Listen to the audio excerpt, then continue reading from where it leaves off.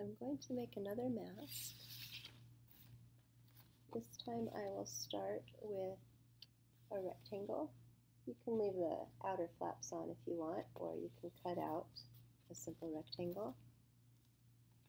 I'm going to start with two big circles, two little circles.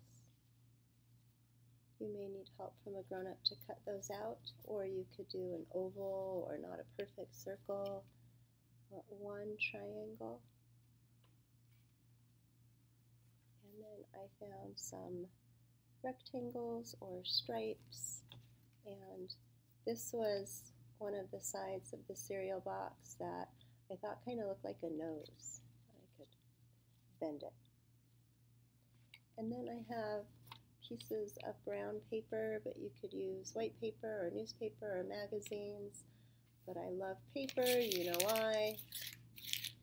Because you can crumple it and uncrumple it, and it adds texture and makes it a little more 3D and I thought this could be the hair.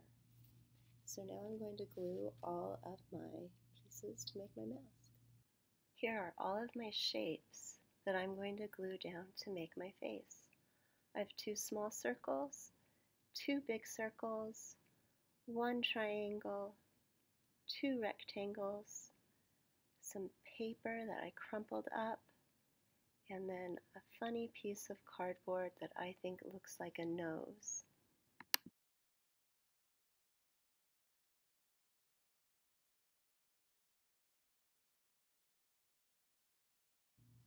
I finished my second mask.